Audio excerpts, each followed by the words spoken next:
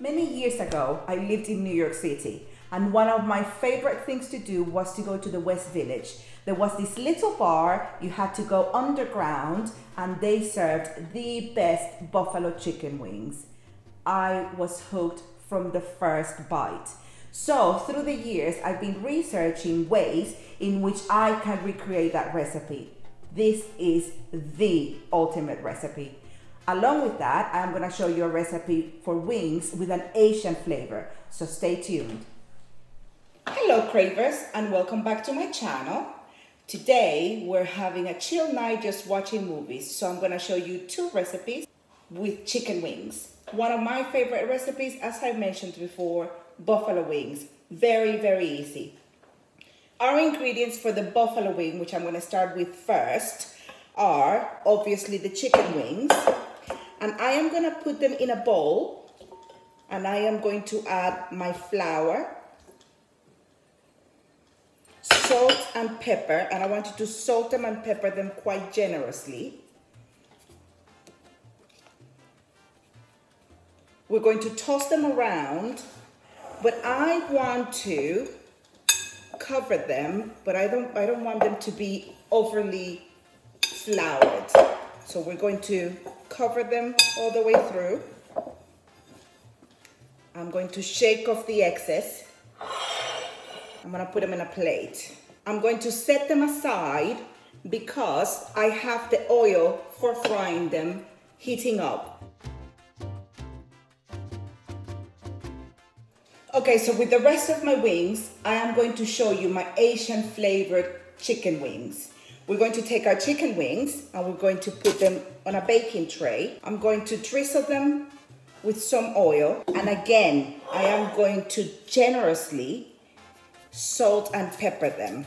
And these are going to go on a 180 degrees Celsius, 350 Fahrenheit oven for about half an hour.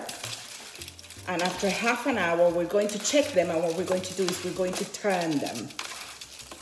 So it doesn't matter if they're next to each other and they're quite tight because as they cook, they're going to be shrinking, so they'll make some space. All right, so while we wait for our chicken wings to cook, let's make the sauces. The first sauce we're going to make is the buffalo wing sauce. We're going to take our butter and put it in a pan, and we're going to add Tabasco sauce, I make it with Tabasco sauce. You can use another sauce. I think Tabasco sauce is the original. And some red wine vinegar. We're going to put this on a very low heat and let it melt.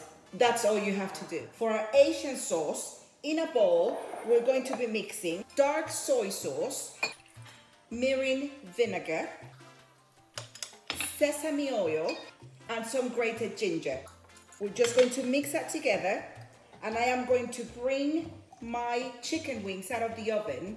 I'm going to bathe them with this sauce and I'm going to put them back in the oven for another 10-15 minutes until the sauce is glossy and sticky. In five minutes, I'm going to check my wings and then I'm gonna turn them over so that they get sticky and absorb that sauce all over. Our buffalo sauce is ready to go. I'm going to get my chicken wings and we're gonna mix it together. Let your chicken wings sit in the sauce for a couple of minutes and then enjoy them. You can enjoy them with some celery sticks, some blue cheese dressing, but I like them just the way they are. It is now time to check our Asian wings. They're shiny and glazed. We're going to leave it for another, I would say five to seven minutes.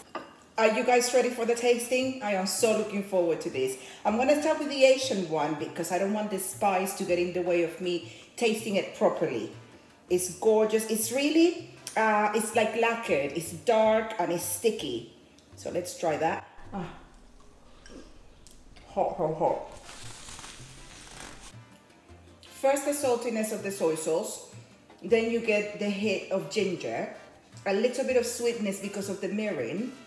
And behind that, you get the flavor of the sesame oil. It's delicious. I could eat a bucket full of them. Now, look, it has that traditional orangey color of buffalo wings. Let's see.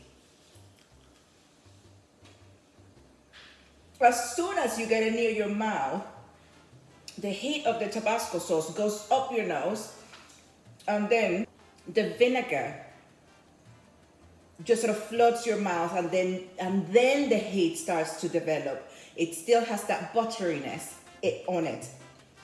and absolutely triumph as far as I'm concerned. Try it at home. They're easy, easy, easy, and your family will be really happy. Have it when you have friends over, have it with a glass of beer uh, during the summer. They're just fantastic to make. If you like this recipe and would like to see more recipes like this, don't forget to subscribe. Hit the notification bell and please follow me on Facebook and Instagram at Little Cravings Catering. See you next time.